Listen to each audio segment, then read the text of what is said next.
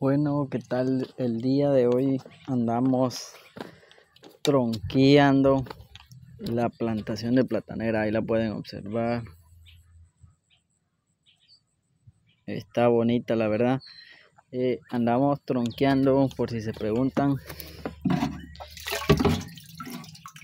Aminoácidos y urea y sulfato.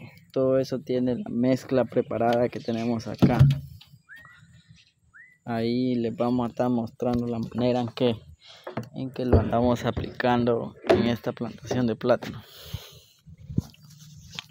Ahorita vamos a, a proceder a llenar la bomba de mochila. Le caben 16 litros 16 litros. Entonces ahorita la vamos a, a proceder a llenar